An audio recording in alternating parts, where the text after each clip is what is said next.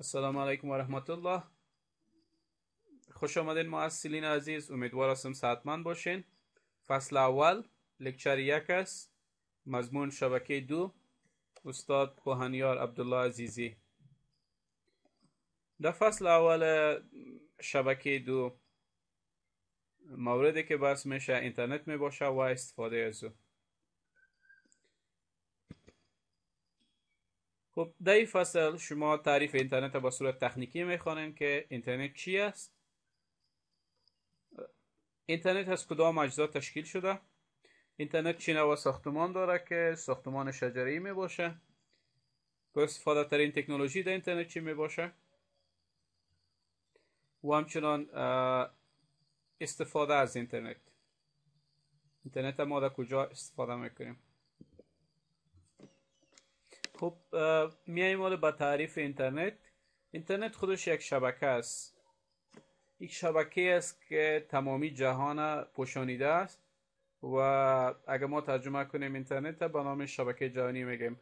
به خاطر از شبکه جهانی میگیم که تقریبا تمامی کره زمین با همدیگه وصل می‌کنه به صورت تکنیکی اگر در نظر بگیریم اینترنت مجموعه از شبکه های کمپیوتری می باشه که به خاطر از اینکه یکی دیگه خود به اشتراک بگذاره و یا از یکی دیگه خود استفاده کنه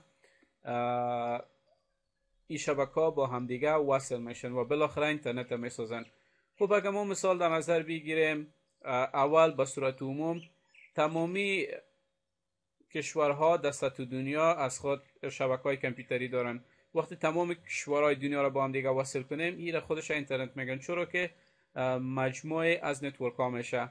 و علاوه از اگه ما با جزئیات بریم داخل هر کشور انواع مختلف از کمپانیا مؤسسات اشخاص شبکه های مختلف در اونجا استفاده می‌کنن و با همدیگه وصل هستن و در هر کشور دیگه به می شکل. بالاخره این بسته تو دنیا این شبکه ها با هم دیگه وصل میشه و ما ایرا میگیم اینترنت. یعنی اینترنت خودش به صورت مشخص اگه بگویم یک network از network ها هست که یکی دیگه خود به اشتراک می‌گذارن و استفاده می‌کنن. علت به اشتراک گذاری دوایلی بود که البته وقتی یک شبکه ساخته می‌شد دارای خدمات مشخص می بود و شبکه دیگه وقت ساخته می‌شد خدمات دیگر می داشت از این خاطر که یکی از خدمات یکدیگر استفاده کنن اینا با هم دیگه وصل شدن و بالاخره به می شکل این سلسله ادامه پیدا کرد تا که تمام جهان وصل کنن یعنی یکی از مثلا اگه مثال بتیم یکی از کمپانی ها خدمات ایمیل فراهم می ساخت بر مردم. کمپانی دیگه خدمات مثلا ویدیو کنفرانس کمپانی دیگه خدمات voice call و مثلا کمپانی دیگه خدمات مختلف دیگه را به کشور یا به مردم فراهم می ساخت و اینا به خاطر از اینکه از خدمات یکی دیگه خودی کمپانی ها استفاده بتانند با هم دیگه وصل شدن و اینترنت را تشکیل دادن. و بازم تکرارا اینترنت مجموعه از شبکه های یک شبکه می باشه که خود از این شبکه از مجموعه شبکه های کمپیوتری تشکیل شده و یکی دیگه خود به اشتراک می‌گذارن. خب حالا اگر ما بیاییم به اجزای تشکیل دهنده اینترنت خب به صورت عموم اینترنت از سه بخش عمده ساخته شده. بخش مهم و قابل بحث از این ISP ها می باشه Internet Service Provider یا کمپانی هایی که به مردم خدمات ارائه می‌کنن. بخش دیگر را داریم به نام Internet Exchange Point. این خودش یک قسمت از اینترنت است. تقریبا بیشتر از 120 Internet Exchange Point در سطح جهان وجود داره. و Internet Exchange Point به نام backbone اینترنت همچنان گفته میشه. اما قسمتی که ISP ها بین همدیگه وصل میشن و قسمت به نام IXP یا Internet Exchange Point میگن که بعدا با slide بعدی باش به صورت مشرح بحث صورت می‌گیره. همچنان قسمت بزرگ و یا عمده دیگر از اینترنت کستومرها تشکیل داده که بعدا باز ما بالای از این که مشتری های کستومرهای اینترنت که جز مهم از اینترنت همچنان می باشن کدام بخش را در بر داره؟ خب حالا اگر ما بیاییم به ISP یا اینترنت سرویس پرووایدرز. ISP خودش یک کمپانی می باشه این کمپانی وظیفهشی است که اینترنت را توزیع کنند خب به صورت مشخص اگر ما در نظر بگیریم به سطح جهان سه نوع از ISP وجود داره. متوجه باشین محصلین عزیز که من سه دانه نگفتیم سه نوع گفتیم که هر یکی از نوع ازی صدها دانه کمپانی را شامل میشن. یکی از نوع ISP به نام Tier یک یاد میشه. Tier یک او از کمپانی هایی است که قاره را با هم دیگه وصل می‌کنن. مثلا قاره اروپا قاره امریکا قاره آسیا افریقا با همدیگه وقتی وصل میشن ایره به نام ISP را یا کمپانی هایی که قاره ها را با هم دیگه وصل کردن خود از این کمپانی ها به نام ISP Tier 1 یاد میشه. بخش دیگه از ISP ها را داریم که به نام Tier 2 است. معمولا به خاطر وصل کردن کشورها در یک قاره استفاده میشن. مثلا افغانستان با پاکستان چطور وصل شوه؟ مثلا پاکستان با چین وصل شده و بالاخره ایران با چین وصل شده و مثل کشورهای مختلف دیگه بین هم دیگه وصل میشن. به خاطر وصل شدن از این کمپانی ها کار می‌کنن تا اینکه کشورها را با هم دیگه وصل کنن. و ما او را میگم که ISP Tier 2 یا ISP بخش دوم. بخش دیگه از ISP ها به نام ISP Tier 3 یاد میشه. وظیفه از این ISP ها امی است که شهرهای مختلف در داخل یک کشور بتانن وصل کنن. مثلا اگر ما در افغانستان در نظر بگیریم یکی از کمپانی ها کمپانی ندامه باشه یا کمپانی افغان تلکام هم کمپانی های مختلف کار می‌کنن.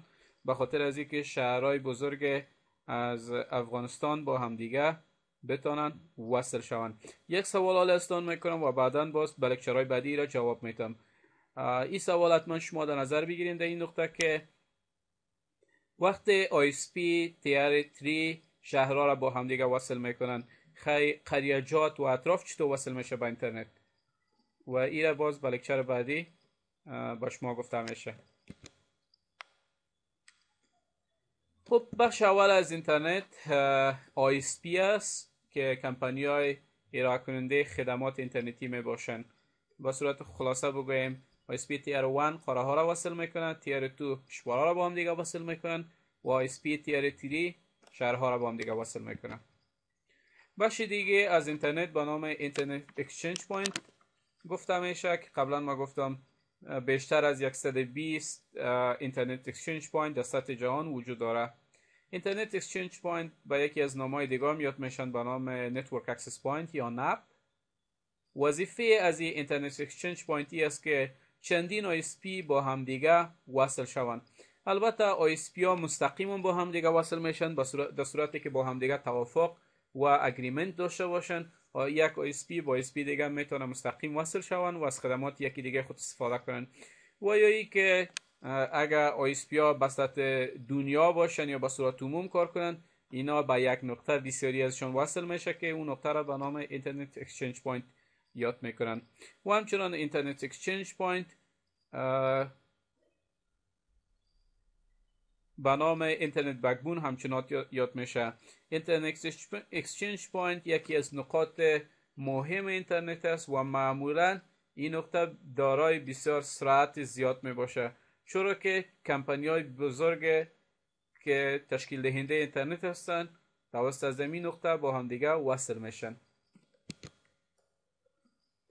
خب حالا اگر ما با جزء سوم و مهم دیگه است. اینترنت بیاییم. کستومر هستند کستومرها همچنان به اینترنت وصل هستند کستومرها می‌تونه به انواع مختلف باشه. مثلا حکومت ها از خود شبکه دارن وزارت ها و مؤسسات دولتی شبکه دارن که هر شبکه های کمپیوتری از اینا امکان داره شبکه های خصوصی باشه و اینا به اینترنت وصل هستند و جز از اینترنت می باشن چرا که امی از مؤسسات حکومتی یا دولتی از اینترنت به صورت اصلی استفاده می‌کنن.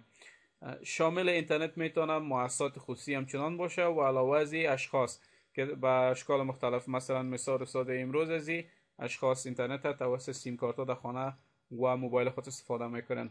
خب اینترنت معمولا با صورت معمول به امی مردم هستن یعنی استفاده کننده اصلی یا مشتریان اصلی اینترنت امین هستن که حکومت ها می‌تونه باشه.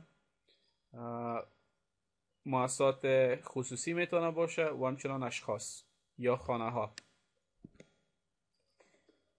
خب پوهنیار عبدالله زی هستم. لیسانس در رشته Computer Science از پوهنتون کابل فارغ شدیم. master در رشته IT تحقیق ما در یکی از تکنولوژی های بسیار مهم که بعدا شما می‌خوانین cloud computing است. اگر شما کدام سوال دارین و یا مشکل دارین می‌تونین با شماره ما به تماس شوین. و یا با ما ایمیل بفرستین. تشکر. خدا نگهدار.